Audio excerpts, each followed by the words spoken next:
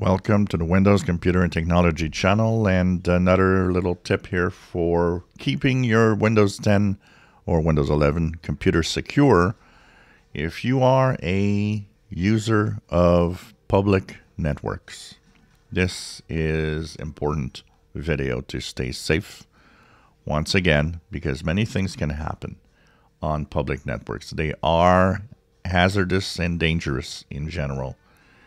And here's a few things that you should actually apply as a rule. First of all, if you have a smartphone that has data available, a lot of the um, service providers for your smartphone will also actually give you, and most phones now today have the uh, the possibility of being a um, a point, an access point for internet. So if you have enough data, and if you don't use that many data, that much data on a computer or a tablet, I would recommend first of all just connect yourself to your own um, smartphone for internet access. Um, I personally have available uh, 50 gigabytes a month on my cell phone as data. So when I go out and I go somewhere with a laptop, first thing well, I, that I will do, or a tablet, I will do is just connect to my own connection. Because that one's secure, it's safe, it's your own little internet access. Nobody else is sharing. And that is as secure as having your access at home, which is really nice. But in most cases, you'll want, because of data caps uh, that often are very low, or you don't have that access to a uh, smartphone, internet, well, you will want, of course, to connect to a public Wi Fi. First of all, how to choose a public Wi Fi. If you want to be snooped on, make sure that the Wi Fi is secured. So when you look at the network list, see how all the different um, Wi Fi networks around you, um, you need and to make sure that all of them have a little lock on the icon. That tells you that all of these are Wi-Fi that are actually uh, secure. So that's one of the things that you should always connect to. If there was no possibility of a public Wi-Fi that is locked with a password, it actually makes the data open and everybody can snoop on the packets of data back and forth from your PC, meaning they could see a lot of things. Um, so that is one of the first things to avoid any open network that doesn't ask for a password.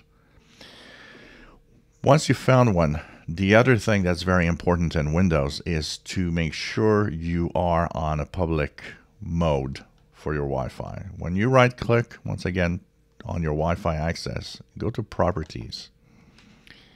Your connection is going to be either private or public. Private is for your home.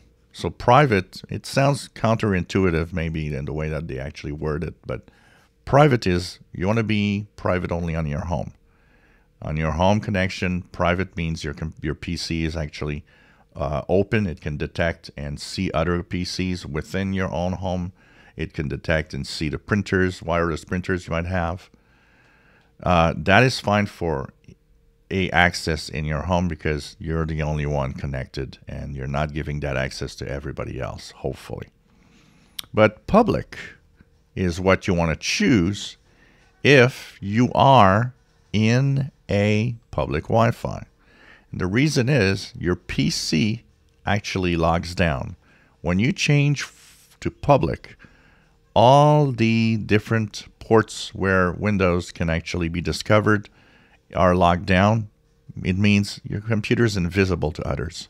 It means everything where you know there could be some access to Windows in some way um, are shut down, and this makes it more secure. So you should always be in the public option on a public Wi-Fi.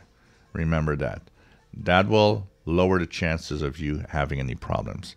If you are on a private network when you're on the public Wi Fi, what happens is that your PC is discoverable it can technically be accessed by hackers and even infiltrated if um, there are some security flaws in some way that maybe you don't know of or if your PC is not totally up to date. Uh, but remember that public Wi Fi are dangerous places to be. So be wary of that and choose the proper or the correct mode depending on where you connect. If you enjoy my videos, please subscribe, give us thumbs up. Thank you for watching.